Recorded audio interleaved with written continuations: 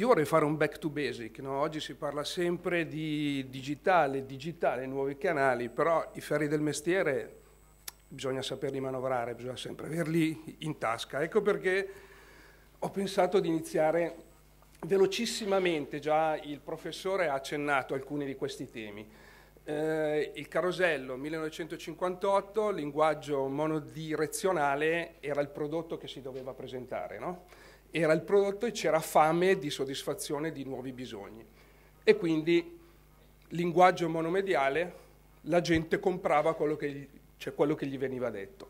Negli anni crescono i canali, il rapporto fra brand e pubblico si moltiplica e incomincia a essere bidirezionale. Vado velocissimo che sono cose scontate, era giusto per fare la premessa. E poi arriva questo benedetto digitale eh, io ho avuto la fortuna di partire lavorando nel largo consumo, quindi dai detersivi in giù, per poi passare a, a fare tre start-up nel mondo finanziario partendo da internet. La prima nel 98 e vi assicuro che pensare di vendere una polizza assicurativa via internet nel 98 era veramente l'anteguerra, eh? sembrava di essere eh, nei Flintstone eh, è stata veramente un'opera di marketing importante, nel senso che bisognava partire veramente da nuove modalità distributive. Ma il digitale, e ce l'ha dimostrato anche il professore con alcuni aneddoti simpatici, ha portato un nuovo stile di vita, ha pervaso completamente la nostra vita.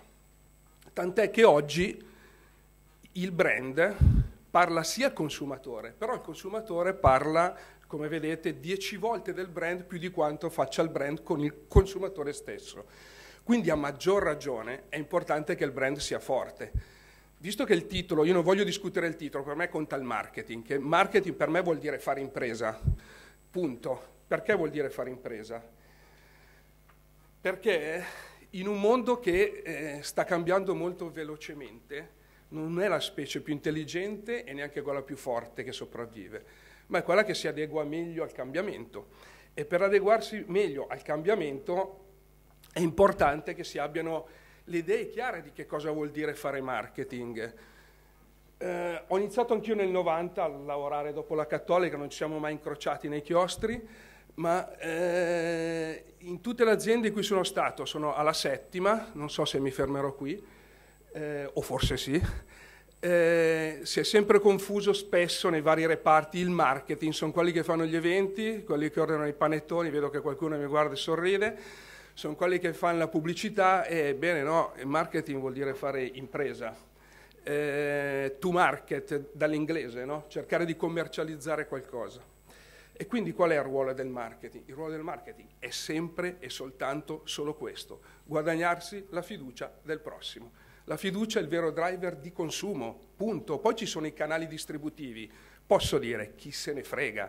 I canali distributivi si utilizzano in funzione delle loro peculiarità, ma quello che conta sono, come accennava Luca Papperini poco fa, le solite vecchie care 4P di Filippo Kotler, perché alla fine bisogna lavorare in primis sul prodotto, bisogna avere molto chiaro che genere di prodotto mettere in piedi perché possa avere successo e soddisfare i fabbisogni e il target che decidiamo di raggiungere.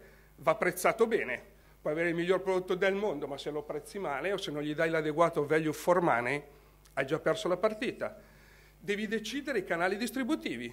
Adesso c'è anche il digitale. Negli anni 70 non c'era la GDO, è arrivata la GDO, però la pasta barilla sempre quella era. Eh? La mia mamma, invece che andare nel negozietto sotto casa, ha scoperto che c'era quel grande luogo magico dove poteva andare in giro col suo bel carrello. E poi arriva finalmente l'attività promozionale, la pubblicità in genere, no? che è quella che poi porta anche qui a un classico modello teorico, però sempre valido, la generazione di notorietà. Quindi quando io ho creato tutto il mio pacchetto, prodotto, prezzo, ho deciso i, canali, ho deciso come comunicare il mio prodotto, la prima cosa devo generare notorietà, devo suscitare dell'interesse, creare desiderio e fare in modo che la gente metta la merce nel carrello in maniera teorica. Però, quindi fino a qua tutto bene. E poi cosa è successo? Beh, eh, qui l'abbiamo chiamata la svolta, forse in maniera esagerata, però se pensiamo che il digitale ha rivoluzionato i nostri stili di vita, al posto della sveglia sul comodino abbiamo lo smartphone, io ho ancora la sveglia, però quelle vecchie di una volta funzionano benissimo. Eh, il consumatore ormai ha soddisfatto tutti i propri bisogni e quindi non compra più solo prodotti, ma compra anche dei telefoni con delle bellissime suonerie, no? Eh, quindi compra anche qualcosa in più. E ormai lo sappiamo, la crisi dei consumi, la verità è che probabilmente abbiamo consumato talmente tanto, abbiamo le case talmente piene di cose, che quando compriamo anche la cosa più banale cerchiamo un'esperienza che ci dia qualcosa in più. E il consumatore effettivamente non compra più solo prodotti, eh? è esperienziale, un po' tutto per iperbole possiamo dire che nessuno compra una Ferrari per risolversi il problema della mobilità. Nelle nostre città ci sono più 4x4 che in qualsiasi campagna, è pazzesco. Ci serve il 4x4 per, per andare in giro nel centro di Milano? No, eh, per muoversi basterebbe no? una qualsiasi auto che abbia motricità. E però ci servono queste cose per cercare di soddisfare dei bisogni che vanno al di là di quei bisogni primari che hanno contraddistinto la prima epoca del marketing, no? dagli anni 60 in poi. Ecco perché qui entrano in gioco le 4M, perché qui i comportamenti di consumo fanno in modo che anche il prodotto assuma delle caratteristiche diverse. Oggi siamo sempre più multiscreen, è già stato detto, multichannel, chi fa marketing lo sa, ormai anche nelle pianificazioni, no? Quando incontriamo Publitalia, quando incontriamo Cipra, si parla di pianificare il second screen o il third screen, pazzesco. È diventato un lavoro incredibile anche quello del, anche quello del media planner. Una volta c'erano quei bei sei canali lì, decidevi il budget, se il prodotto era ben assettato e ben prezzato, il sell out lo facevi. Oggi non basta più neanche quello anche perché i canali sono talmente tanti che a prescindere dal budget che hai, o hai 200 milioni di euro, ma oggi neanche più le telecom si possono permettere di coprire tutto con le soglie di GRP di dieci anni fa, è importante anche scegliere il canale giusto nella fascia oraria giusta e quando c'è la predisposizione giusta di quel signore che sta sul divano e ha davanti la tv, il tablet e intanto chatta con lo smartphone e magari deve dar retta a moglie e figli è un bel mestiere, ecco perché Darwin ci deve insegnare che non basta quello che abbiamo fatto prima, dobbiamo veramente essere capaci di evolvere con molta flessibilità. Multitasking, l'ho appena detto, facciamo sempre 27 cose insieme. Venivo prima in macchina, c'è gente che ormai i semafori sta lì un quarto d'ora, perché, ora, cioè perché ora che risponde al telefono, tanto guarda l'iPad e sfoglia il Corriere, è un disastro. Perché? Anche perché siamo sempre in mobilità.